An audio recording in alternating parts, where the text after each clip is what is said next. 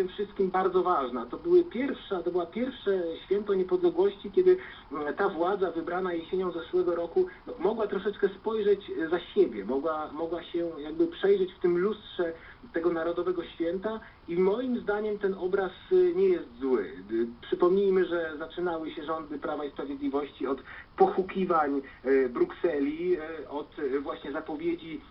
chociażby pana Schetyny i pana Kijowskiego, że tu będzie jakiś Majdan, który zmiecie tę władzę, że ona za chwilę straci poparcie, że rozczaruje ludzi. Marsz Y, miliona Wałęsy.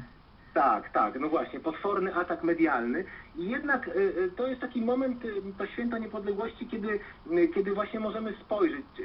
co się tu komu udało w czasie tego roku, czy ten rok nie został zmarnowany przez ludzi, którzy no, zostali obdarzeni